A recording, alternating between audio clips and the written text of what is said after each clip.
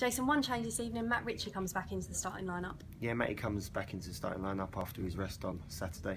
Uh, so you know he's really fresh now, and you know, hoping for a big performance from Matty, who's been excellent for us for the majority of the season.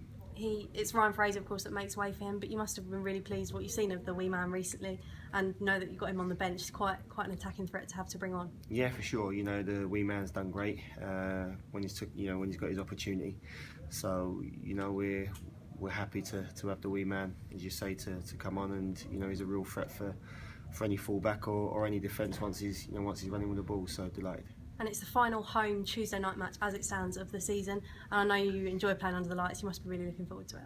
Yeah, we're looking forward to it. You know, we're confident. Uh, you know, the the mood in the change room is really good, and you know we're expecting a big performance. And you, you know, Tuesday night games, you know, do seem to have that sort of special impact. And you know, hopefully the crowd can get right behind us, uh, and hopefully we can give them some, you know, some something to cheer about, something to sing about, and you know, hopefully we can find that goal scoring touch again and uh, come away three points.